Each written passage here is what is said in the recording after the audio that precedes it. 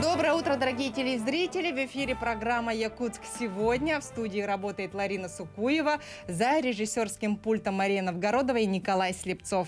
На календаре сегодня 12 мая, среда, и сегодня во всем мире отмечается День медицинской сестры. Другими словами, сегодня есть повод еще раз поблагодарить и поздравить представительниц одной из самых гуманных профессий, чем мы и воспользуемся. Я рада представить вам палатную медсестру первого гинекологического отделения перинатального центра Республиканской клинической больницы города Якутска Марию Зырянову. Мария, здравствуйте. Здравствуйте. Примите самые наши искренние поздравления с вашим профессиональным праздником. Спасибо. Дорогие друзья, не забывайте, что мы работаем для вас только в прямом эфире, так что смело звоните нам в студию и задавайте вопросы нашим гостям. Телефон студии прежний 320066 32 11 66. Ну и также, конечно, вы можете писать нам свои вопросы по WhatsApp 8 964 428 8818. Мария, есть ли у вас и у ваших коллег особая традиция отмечать ваш профессиональный праздник? Ага, у нас есть отме- до пандемии мы постоянно выезжали на природу, отмечали а, День медицинской сестры. А сейчас в связи с эпидостановкой мы как бы сейчас прекратили, но возобновим. Конечно. Всё. Расскажите вообще о вашем отделении. А, Отделение у нас а, было открыто в 1939 году на 20 коек. А, Сейчас работаем на 45 коек. А, э, Оперативные методы лечения и экстренные в экстренном порядке. А, Заведующая у нас а, акушер-гинеколог первой категории м, Игнатьева Наталья Николаевна. А Старшая медсестра является наша медсестра высшей категории Савинова Августина Федосьевна. Ну, получается, что ваше отделение одно из старейших медицинских учреждений да, в нашем городе. В прошлом году, позапрошлом году ему исполнилось 180. 80 лет, да? Да. Ага. А вообще, как давно вы в этой профессии?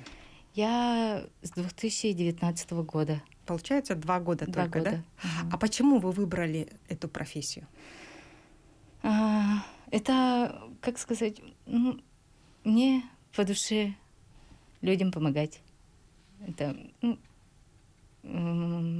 от этого мне становится легче, то, что мне, я людям помогаю. А что вы закончили? Вот какое медицинское учреждение вы закончили? Медицинский колледж. Наш якутский, Да, да? якутский. А что входит в ваши обязанности вот палатной медсестры? А палатная медсестра э, выполняет обязаны, э, прямые поручения врачей, да, доктора. М, там, анализы, там, по назначению врача, доктора работаем. А, в назначение входит там лечение больных, уход за больными, за тяжело, ну, послеоперационными больными, там, что в уход входит, там, кормление, э, там, ну, Процедуры, процедуры различные, различные, ага.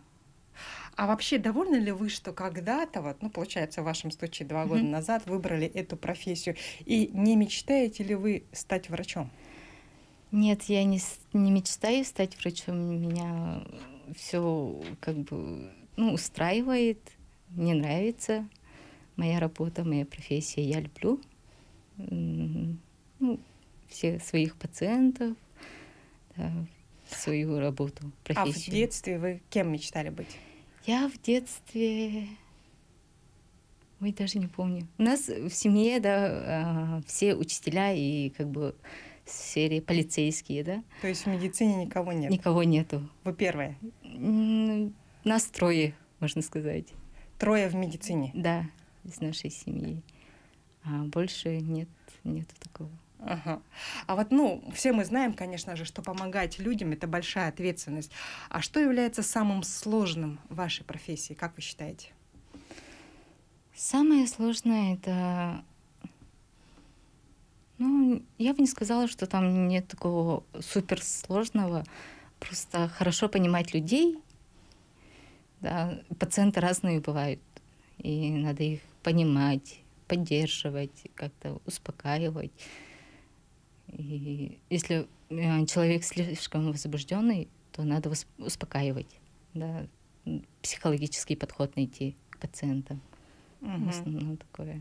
Ну вот да, действительно, пациенты бывают очень разные, они даже могут быть психически неустойчивыми, грубыми и агрессивными. Вот как вот э, представители вашей профессии справляются с эмоциональным выгоранием и как следует себя вести вот в таких вот ситуациях? А с- как следует себя вести спокойно, адекватно, все в спокойном тоне объясняете, да, ну, больше разговора.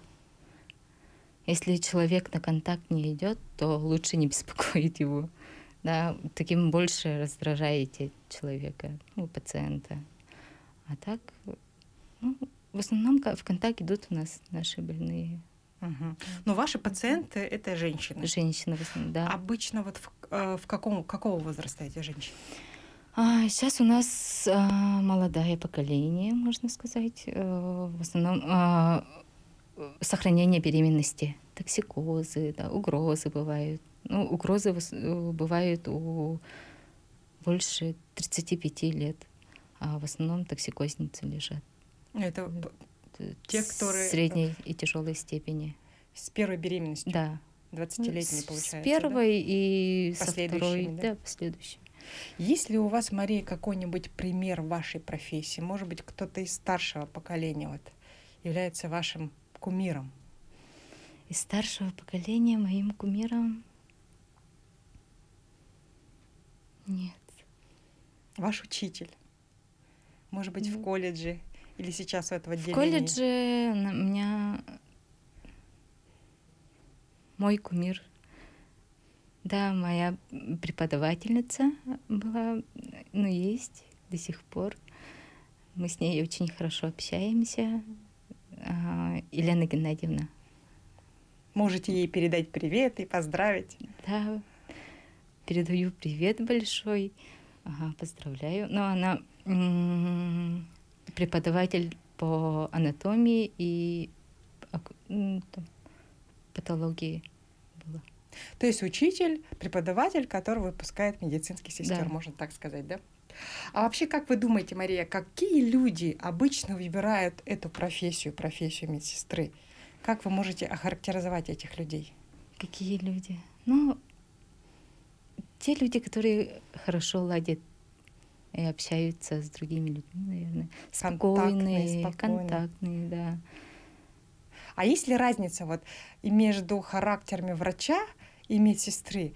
Вот мне кажется, что врач должен быть таким э, требовательным, немножко строгим, Да, а медсестра это человек такой мягкий, Мягкие, ага. добрый. Ну, у нас э, с докторами отношения очень хорошие, уважительные. Мы с ними очень хорошо общаемся. То, что они говорят, мы всегда выполняем. Мгм. Так, и э, я хотела бы у вас такой задать вопрос. Наблюдается ли отток сестринского персонала в частные клиники? Вот если да, то почему? Вот как вы думаете, чем вот их заманивает туда? Ну, у нас в наше отделение такого оттока нету. Ой, даже не знаю. Я бы не пошла в частные клиники. Лично мой пример. да. Ну, Не знаю, меня как бы не устраивает. Ну, если даже идут на частные клиники, то из-за графика, может быть.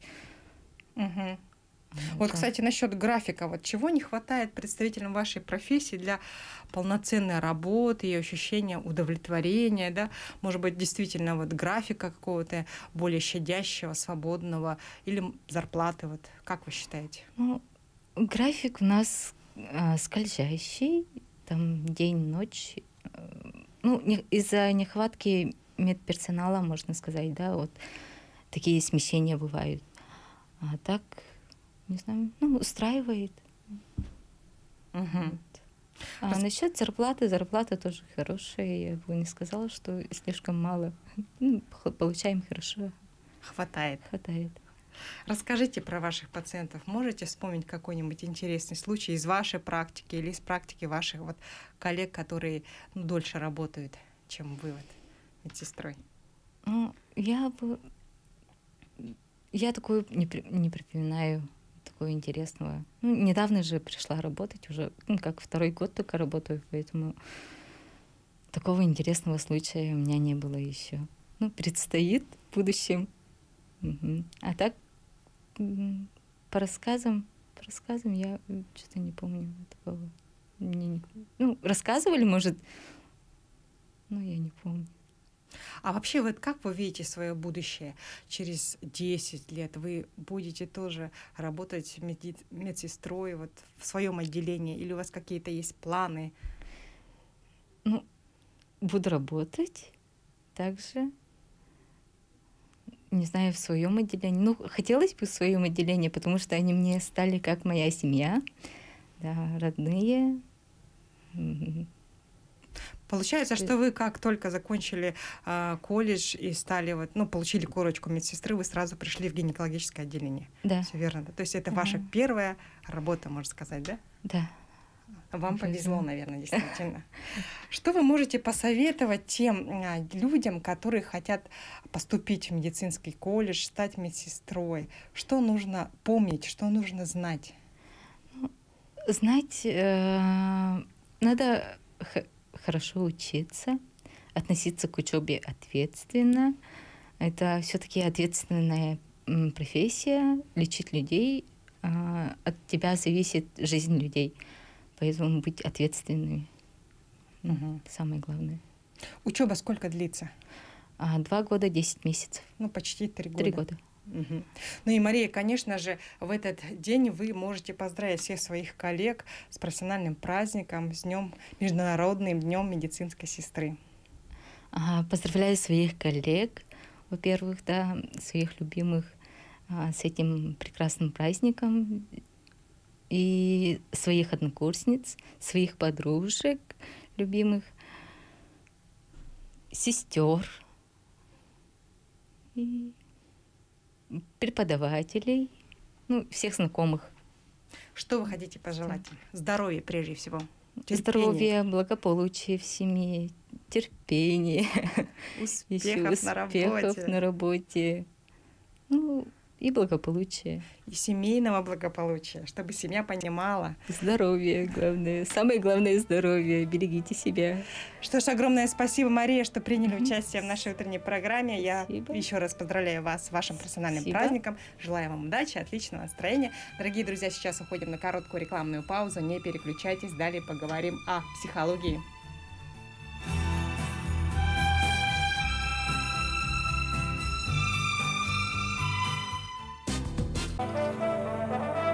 Утро, дорогие друзья! Программа «Якутск сегодня» продолжает свою работу. На календаре сегодня 12 мая, конец учебного года. Многие с нетерпением ждут каникул, а для некоторых родителей и их малышей встает острый вопрос о подготовке к школе и с какими трудностями они могут столкнуться.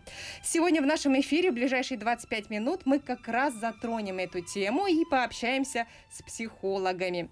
Итак, я рада представить вам психологов Юлию Ципандина и Туяру Нестерову, а также кандидата психологических наук Аграфену Кондакову. Доброе утро, девушки. Доброе утро. А, зрители и радиослушатели, я хочу вам напомнить, что мы работаем в прямом эфире, так что смело звоните нам в студии, задавайте вопросы нашим гостям. Напоминаю, сегодня у нас психологи. Телефон в студии 320066 32 11 66. Ну и, конечно же, у нас работает WhatsApp, можете писать вопросы туда. Номер 8 964 428 88 18. Сейчас в моде записывать ребенка на различные развивашки чуть ли не с пеленок. В год показывают ему карточки с буквами, пытаясь научить читать. В два разговаривают со взрослыми, а в четыре у него уже есть свои репетиторы. Нормально ли это? И вообще со скольки лет нужно начинать подготовку к школе? Начну, да? Ага, всем добрый день, всем слушателям и телезрителям. Ну, скажу прямо, так скажем, да, что э, в плане того, что вот раннего развития именно обучению, это ненормально. Да, то есть э, этот период э, развития ребенка, он идет очень активно. И ключевой момент э, на самом-то деле, если вот э, предвосхищая сказать, сколько готовится подготовка к школе, в принципе, оно идет с рождения как таковой, да. Но вот этот период, ранний период, с рождения до 4 лет, как раз-таки, он должен быть наполнен не буквами и цифрами. А играми, наверное. А играми, да, играми, и причем э, не только играми, но и очень много движения. Очень много движения, то есть э, в нашей терминологии это будет, так скажем, чувственно-двигательный период, да? Сенсо- период сенсомоторного развития, что является фундаментом для хорошего освоения цифр и букв. А в обычном понимании, вот именно вот подготовка к школе, да, к чему мы привыкли, э, со- со скольки лет следует начинать? С шести, с пяти? С пяти. С пяти. То Да. есть это о буквах, о цифрах, Да, если речь да. идет, да? На самом-то деле э, в норме у ребенка так и так интерес появляется к буквам, да, и просто родителю в этот период нужно быть достаточно, э, так скажем, наблюдательным, и дети на, сами начинают тянуться к буквам, спрашивают, да, что Мгм. это за буква, у них появляется интерес, что там написано, например. Все, И начинаешь начинаем там... уже, ага. да. А вот что означает психологическая готовность к школе? Что Мгм. это такое? Ну, давайте я про него я расскажу. А психологическая готовность в школе это вот достаточный уровень развития психики ребенка, да, для освоения именно школьной программы именно в кругу своих сверстников. То есть он уже должен быть способен работать именно в, школь... ну, в школьном коллективе. да. И обычно выделяют три аспекта вот этой готовности. Это первая интеллектуальная готовность, да, которая включает, в принципе, уровень развития интеллектуальных процессов, а, начиная вот с самых базовых уровней. Да, значит, это первое восприятие. Ребенок должен уметь вычленять из фигуры фона нужную информацию, допустим, а, устойчивость, концентрацию внимания, достаточный уровень развития мышления. Ребенок должен сравнивать, находить различия между предметами, да, а, делать какие-то умозаключения и свои выводы. Ну, таким образом, такой некий почемучка должен быть, да. И, ну и рассуждать получается. Но также еще а, вот в уровень нашего интеллектуального развития включается ориентация в пространстве. По сути, получается, он должен а, знать, а, кто он, да, фамилия, имя, отчество, так Где он скажем. живет, да? Да, где он адрес. живет, а, ра- св- адрес своих, ну, имена своих родителей, да, уметь ориентироваться в сезонах года, лето а, наступает, да, там, когда наступ- проходит лето, у нас наступает осень, и что происходит, да, вот эти все вещи он должен уметь вот активно рассуждать над этими вещами.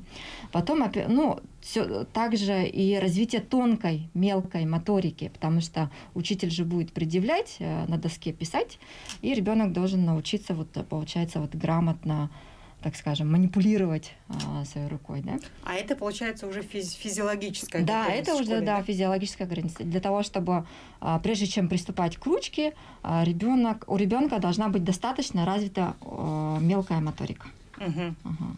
А что вы можете посоветовать тем, кто эмоционально, психологически или, может быть, физиологически пока еще не готов к школе, но этому ребенку уже 7 лет? Вот что в этом случае следует Мгм. делать? Вообще а, нужно возвращаться, если же ребенок эмоционально, психологически не готов к школе, да, нам нужно возвращаться на нижние уровни развития.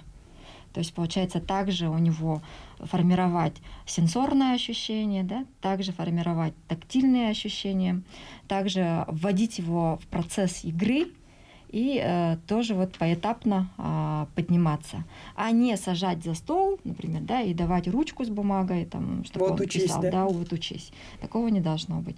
Вот как моя коллега тоже рассказывала, должен он двигаться, ребенок. Но сейчас вот май, да, осталось буквально несколько месяцев до начала учебного года. За этот промежуток ребенок может наверстать упущенное, научиться там мелкой моторике, различать сезоны года, что-то еще. Вот мы успеваем или нет? Ну, вполне можно успеть, да, но все зависит э, от самого ребенка и от той среды, которая создается взрослыми. Да, там, потому что, в принципе, а, как бы ни говорилось, универсального совета, к сожалению, нет. Да? И все зависит от, именно, вот, повторяется, от индивидуальных особенностей ребенка, потому что кто-то идет очень быстро. Да, ему создаю условия, он буквально месяц-два с ним плотненько занимайся, он дает скачок. А кто-то медленно. Поэтому это все выясняется уже в процессе, например, профессиональной диагностики, да, чтобы определить именно маршрут, что нужно восполнять на что обратить внимание. А вообще с какими трудностями может столкнуться ребенок при подготовке к школе и в учебе уже в дальнейшем? Ну, первые трудности обычно возникают вот с мотивацией да, ребенка. То есть а, готов ли он именно личностно к школе, да, к учебной деятельности. Мотивация это означает то, что бывает внешняя мотивация, внутренняя мотивация. То есть внешняя это мотивация, это такая, например, а, атрибутивная, то есть направленная на внешние стимулы. Новый рюкзак, новый статус какой-то, да, новая школа, новое здание. Не спать в, в обед, Днём. да, вот, так- ну, вот такие какие-то внешние факторы. А также вот внутренняя мотивация, то есть а, познавать а, познавательный интерес должен быть ребенка. Это вот имеется в виду именно внутренняя мотивация, хотеть учиться. А если у ребенка нет этой мотивации, вот не хочет он в школу, не хочет учиться, вот такие дети же, к сожалению, встречаются, да, в этом случае вот как можно помочь ему? Ну вот надо а, пройти диагностику, да, и выявить именно, где есть задержки в развитии. А, если есть какая-то дисфункция, то есть а, дисгармоничное развитие, вот тогда у ребенка получается какие-то потребности не закрыты игровые потребности, да, а, какие-то физиологические потребности, да, эмоциональные потребности. Вот тогда начинается вот дисгармоничное развитие, и вот это уже приводит к задержкам развития. То есть ребенок не готов к школе, получается, к коллективу, да. А также вот и а, эмоционально-волевая сфера, да, очень важна. То есть готовность ребенка именно слушать взрослого, следовать инструкции, да, работать по а, определенным правилам. И это формируется именно в игровой деятельности в дошкольном периоде. А сколько времени обычно занимает вот эта вот настройка мотивации перед школой? Вот? Ну, Сколько нужно ходить к психологу, да, чтобы настроить ребенка, вот, Ну, что это вот все индивидуально, опять же, да? Ну, В принципе, как- дошкольное детство, оно же как раз-таки на это и направлено. да. А всему этому, в принципе, учат тоже. В детском воспит- саду. Да, Да, в детском да. саду. И у них же есть тоже игровые моменты и моменты работы с педагогом, да, которые по правилам, по требованию. И, в принципе, вот в этот период и формируется тоже вот э, волевая сфера. У нас в студии есть телефонный звонок. Доброе утро, мы вас слушаем. Задавайте свой Алло, вопрос. здравствуйте. Здравствуйте. У меня вот ну, очень интересная передача, вот смотрю, да, и у меня такой вопрос. У девочки, как бы, ну, она 8 лет готова, в январе исполнилась, она пошла в школу, но почему-то она вот э, несерьезно относится или как марает учебники, д- учится вот э, уч- математику, русский, вообще все, тетради все марает. Это от чего вот это она так делает? Э, Поговорились, э, почему так делаешь? Ну, а вот не знает она. Э, Как-то неответственно относится к предметам вот учебы. Мгм, Спасибо вам за звонок. Можно уточняющий вопрос? Если не отключился, Да. так, а, радиослушатель отключился уже, да, к сожалению. Но в этом случае что вот общими хотя бы словами, что можно сказать? Ну, скорее всего, да, была бы разница, если ребенок просто морает, да, либо ребенок сидит рисует, что вот он на- полях, да, Ага. сидит рисует. В принципе, ну, то, что первое бросается на глаза, а, ребенку трудно удержать внимание на той информации, которую говорит учитель, например, да, ей неинтересно. И она все, она ушла в что-то вот это марание, да, э, в рисование, там Математика, значит, ей неинтересно, наверное, раз Ну, учебник математики. Да, да. Ну там обычно в первом классе там веселые рисунки, разукра, ну вот все ярко бывает, да, достаточно. Ну и решила отвлеклась ребенок, да, то есть и при этом мало того, что она отвлеклась, а, и получается, вот тут, если мы немножко мотанем назад, на, чисто на физиологический уровень, ребенку трудно э, контролировать не только свое внимание, ребенку трудно контролировать свое поведение. Да? И при этом это не, не всегда говорит об избалованности, не всегда ребенок осознает, что он это делает как будто бы специально. Говоришь, говоришь, а он не понимает. Вроде бы сейчас ага-ага, а потом я забыл, например, я либо забыла. Ну вот я не знаю, почему так получается. Действительно, в этом плане ребенок действительно может не знать. Поэтому первостепенно это, скорее всего, ну вот если сказать нейропсихическим термином, да, это будет э, дисфункция лобных структур. Ну то, что вот в первичной Мгм. выглядит, да. То есть это просто говоря, это произвольный контроль. То есть волевой контроль своего внимания и волевой контроль своего поведения. А в этом случае что нужно делать? Как вот со- настроить свое внимание? М, Это дело такое, в принципе, мозг о, орган тренируемый, как любая мышца, как часть тела. Да? И поэтому оно нагружается и развивается за счет такой нагрузки, которая требует дополнительного контроля. Это должна быть игра, в первую очередь. Также, да, мы возвращаемся, у ребенка все-таки сохраняется игровая деятельность, ему сложно удержать. То есть э, такой э, текстовый материал ребенку будет неинтересен, и Мгм. тогда мы, например, э, игры с правилами, да, какие-то вот игры, где нужно э, контролировать свое движение. То есть А- родителям нужно больше играть, да? Да, ну вот и в домашних условиях, да. Да? А в идеале вот действительно э, универсально также совета нет, к сожалению, да, поэтому э, увидев ребенка, продиагностировав его, мы можем сказать более детальные вещи. Мгм, Спасибо за ответ.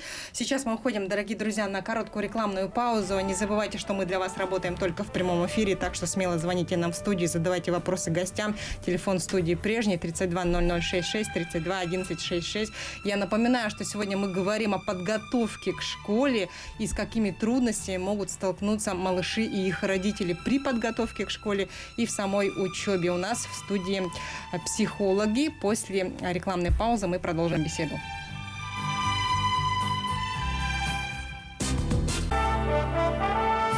Доброе утро! Мы продолжаем беседовать о подготовке к школе и с какими трудностями могут столкнуться малыши и их родители. В нашей студии сегодня психологи Юлия Цимпандина, Ютуяра Нестерова и Аграфена Кондакова. Друзья, не забывайте, что мы работаем в прямом эфире.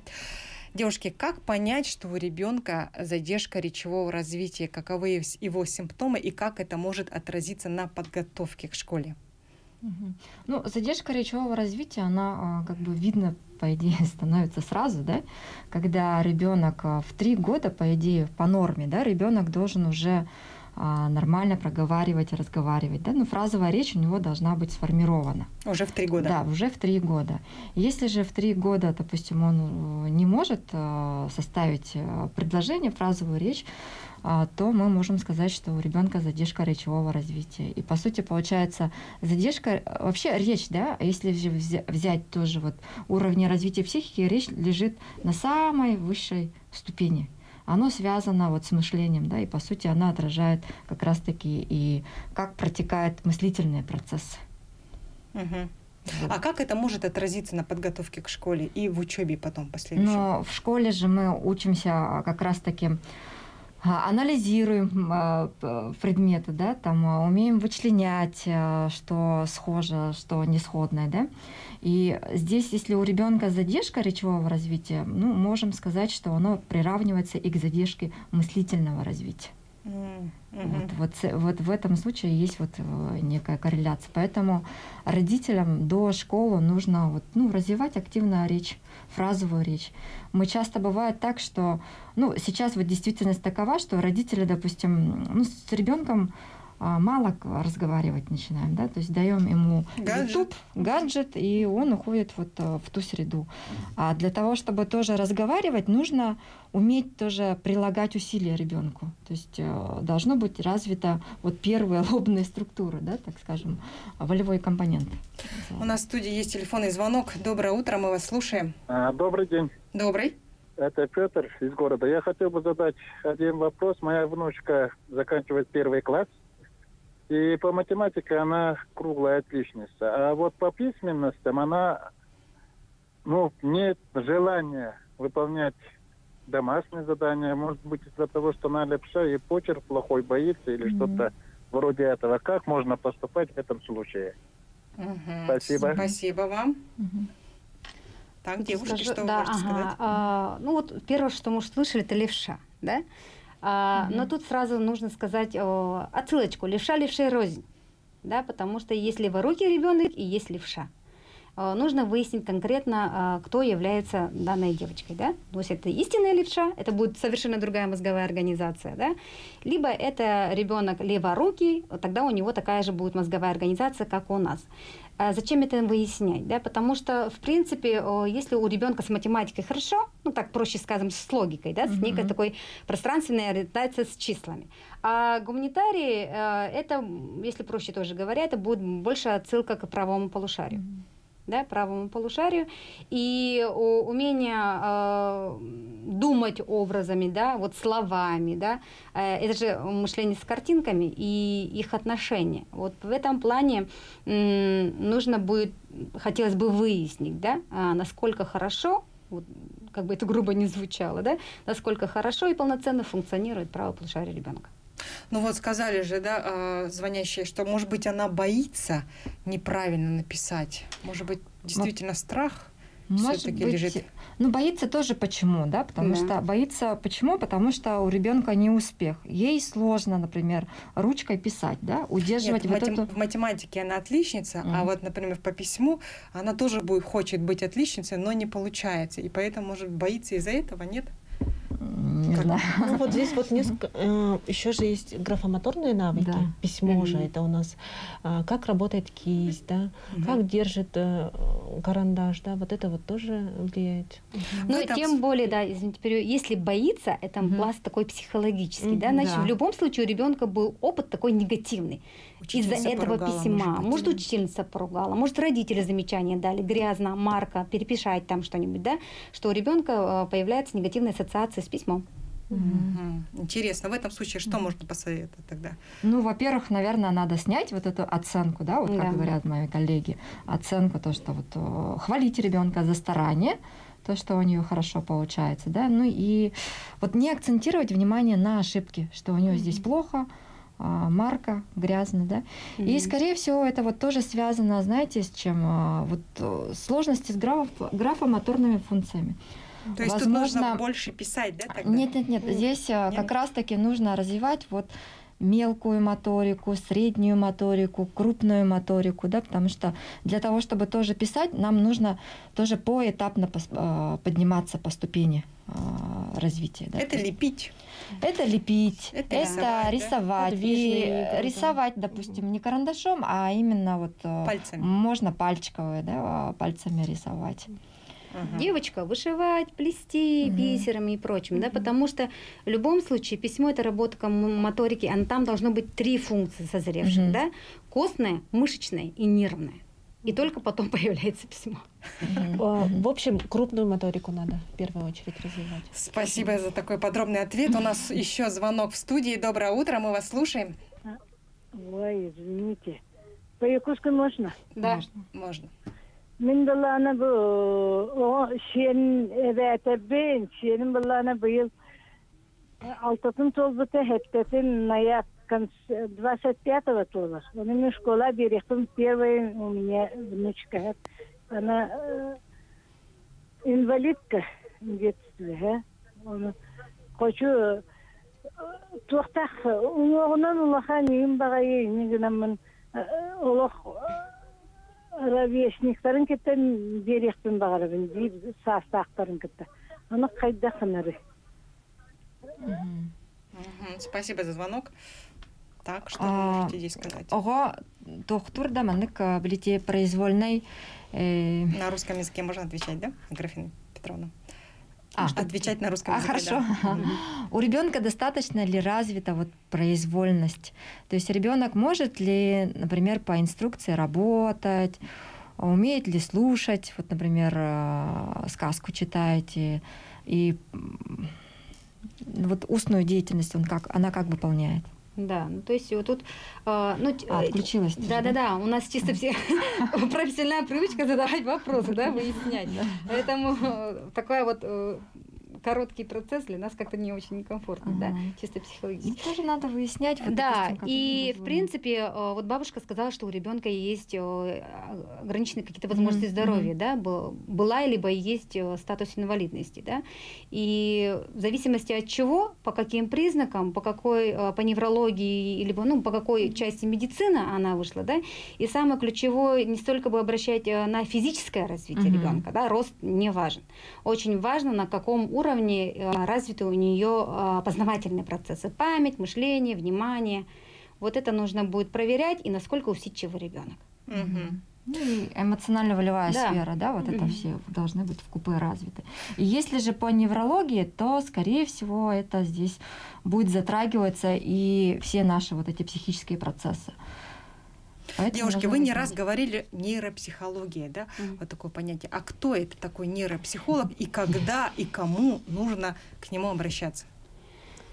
А, Ну, это специалист а, в области вот на стыке медицины и психологии, да. И вообще а, с точки зрения мозговой организации и закономерностей психических а, функций, то есть развитие именно поэтапного развития психических функций а, смотрим. И также еще а, вот где а, если есть задержка, да, то это надо смотреть уже а, предыдущие этапы развития а, где было это дисгармоничное развитие, да? Предыдущий этап развития, что вы имеете в виду? Раннее развитие или, или беременность? Да. Включая и беременность, это, Всё. начинается всё. с пренатального периода, да. А вот как понять, что надо вот обратиться к вам, вот, к нейропсихологу? Ну, на самом-то деле к нейропсихологу можно обратиться и когда и все хорошо, да, ну, для того, чтобы, по крайней мере, понять, как вот э, идет развитие ребенка. По сути, нейропсихолог это такой специалист, который а, развитие ребенка смотрит по с, э, наравне, как развивается мозг. То есть получается, если ребенок развивается хорошо, нормально, значит у него мозг, а, например, нормально функционирует. Если есть какие-то пробелы, например, а, капризничает, да, вот произвольная сфера а, недостаточно развита, то значит у нас тут есть тоже есть моменты, которые отражаются, ну, связаны с развитием головного мозга. Можно обращаться а, к нейропсихологу практически в любом возрасте, но перед школой это, конечно, обязательный момент. Но получается, и дети с задержкой речевого развития также могут к вам обратиться, Конечно. да? Они обращаются. Не И обращайтесь. если говорить про школьников, то в принципе э, нейропсихологам приходит тогда, когда вот вроде бы занимается репетитором, а прогресса не идет, либо он идет очень медленно. То есть э, не получается ни родителям, ни педагогам э, давать такое хорошее педагогическое образование. Да? При этом вроде бы как э, посмотреть со стороны на ребенка, ну, адекватный, хороший ребенок, Мгм. но вот почему-то не получается. И вот тогда э, приходит к нам, чтобы понять, м, либо узнать про вот базовые причины, почему он так. А сколько обычно в среднем может длиться вот а, з- занятие, курс лечения, можно сказать, подготовки к школе? Ну, также индивидуально все, от ребенка Мгм. зависит. ага. Обычно 2-3 месяца, если ребенок, э, в принципе, особо таких больших сложностей нет, то через 2-3 месяца интенсивных занятий, это два раза в неделю, мы можем, вот, э, да, два-три раза мы можем вот как-то вот наверстать. И последний вопрос, как вас можно найти? А, у нас есть страница в Инстаграме Светлячок ЕКТ. И также в Тугисе можно найти. Спасибо огромное за участие в нашей утренней программе. Спасибо за подробные ответы на мои вопросы и на вопросы наших телезрителей и радиослушателей. Дорогие друзья, на этом я с вами прощаюсь. В студии работала Ларина Сукуева, за режиссерским пультом Мария Новгородова, Николай Слепцов. Всего доброго. Увидимся на следующей неделе.